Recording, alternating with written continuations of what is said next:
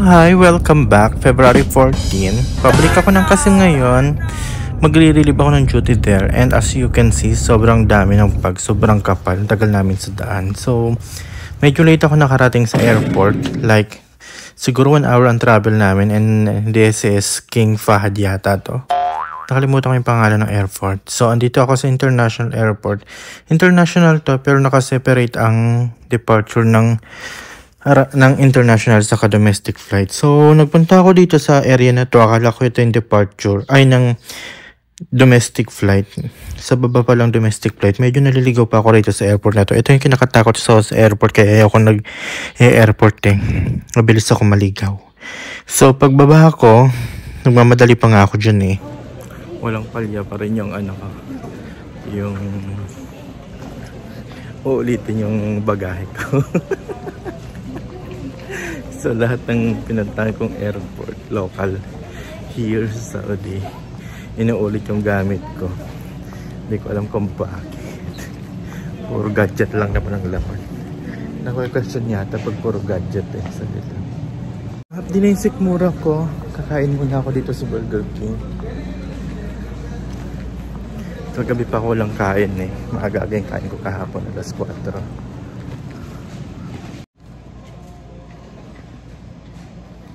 So, nag-excess luggage na naman tayo. Pero hindi na ako nagbayad. Ginibuhay na nung ano, nung babaeng ano, nag-aayos doon sa machine, doon sa ano, nagbibigay ng ticket. Binigay na allowance sa akin is 30 kilograms, binayaran ng company. Nag-request ako. Tapos, 33 kilograms yung sa akin plus more than 7 kilograms yung hand carry ko kasi may backpack ako meron pa akong dalang side box diba? Ang dami. Ang dami ko kasing dala sabi ko sa inyo. Iba pag sinipag ako i-unbox ko yun. Kung ano yung mga dala natin. So andito ako sa Burger King going to eat. Breakfast muna ako. Delayed naman yung travel eh. So yun lang.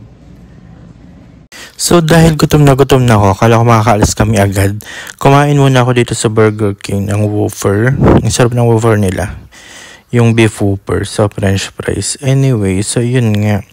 Delay ang ating flight dahil kapal ng flag. Flag, fog. So, oras na ito is 7 na ito. Nadubat yung oras ng flight ko. Makapal pa rin yung flag. Wala pa rin lumalanding na aeroplano. So this one is 8.30 na yata. Medyo lumiwanag na. May mga nagdadatingan ng aeroplano at meron na rin nag-aalisan. May ibang eroplano na nakaalis. Ewan ko kung saan patungo yun. Meron na rin ibang nakarating dito.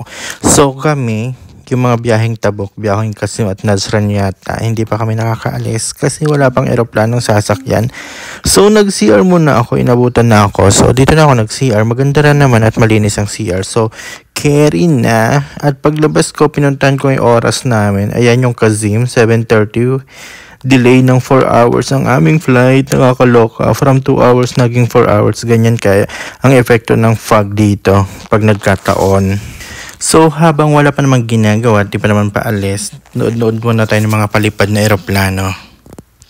So tinignan ko yung ano, orasan dun sa ano, wall. Binili pa ng 11 a.m. Nakakaloka. Diskantok na antok na ako pagdating na naman ng kasi matutulog na naman. Tapos gabi na naman tayo gising.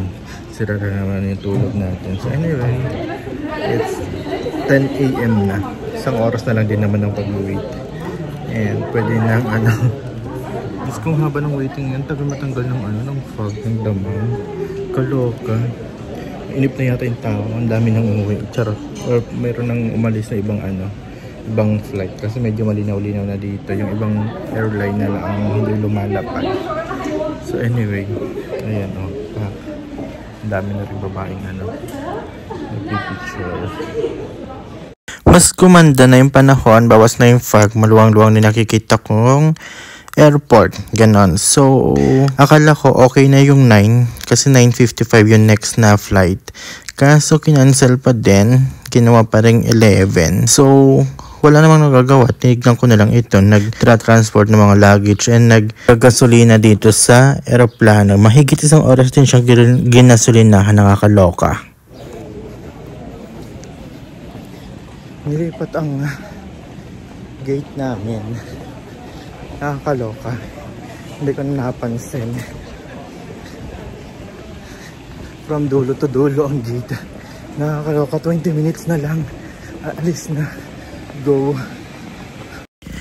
Nilipat yung gate namin from 120 to 116. Nakakaloka end-to-end ng airport yun. Hingal na hingal ang bakla.